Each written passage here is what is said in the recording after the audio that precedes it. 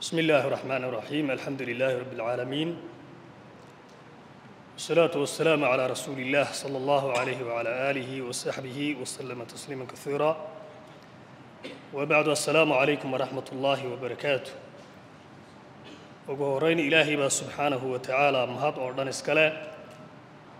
نعموين كبدا يعان لكو بكرين إن قمنا نستي إلهي نوحن كبرين إلو نوستي ياديو إن ونصق رب سبحانه وتعالى waxaa kaloo aad iyo aad u mahadsan culimmada iyo maamulka masaajidka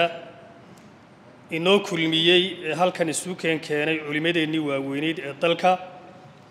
oo rintii inteereeday nala joogeen aynu dhegaysanaynay. Hadallo iyo waano aad iyo aad u qiimo badan waxa weeye inoo soo jeediyey. Ilaahay mahaddii ah waxa ah aynu ilaahay ugu shukriyaynaa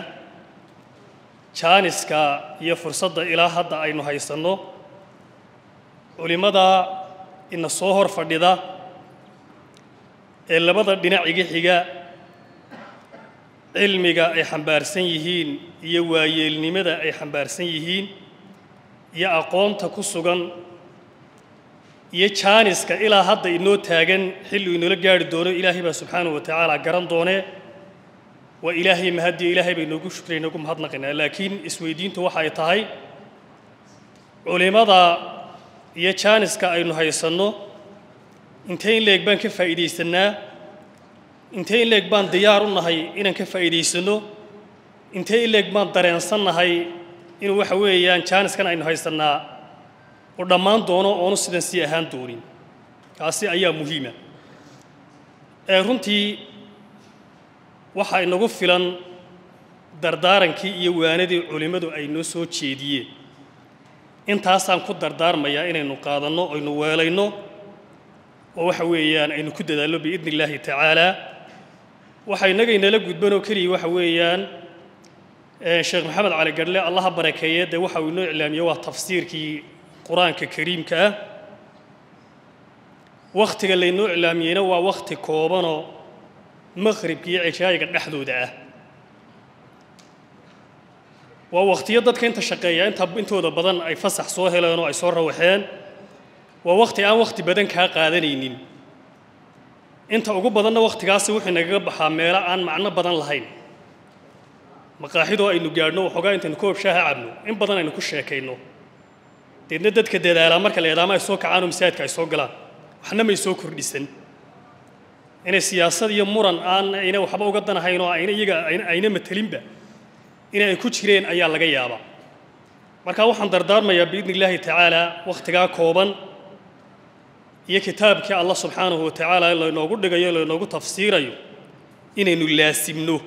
waxaad arki doontaa un maalin dhow isagoo tafsiirkii la soo xidho laleeyahay tafsiirkii baa la dhammeeyey adigoo moodaya inaan wax badan socon aan kana fogaynoo meelahan dhadhowiye eriyadanun ka dhowaa marka waxaan dardaarmayaa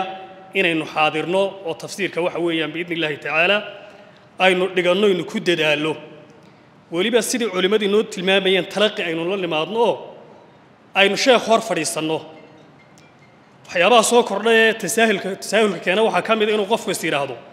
xaggan baad ka dhegaysan doontaa mar dhow baa youtube-ka iyo facebooka la soo gelin doonaayo halkanaad ka qaadan doontaa. Isagoo aan waxa weeyaan jaaniskii haya laga hadhaa uma sii socoto laba habeen iyo saddex habeenba markaad isleeri weyda isyar gaadhaan casharii halkaasunba qofku ka hadhaa laakiin haddaad soo hor fadhiista sheekha wixii ku dhaafayna halka aad ugu noqoto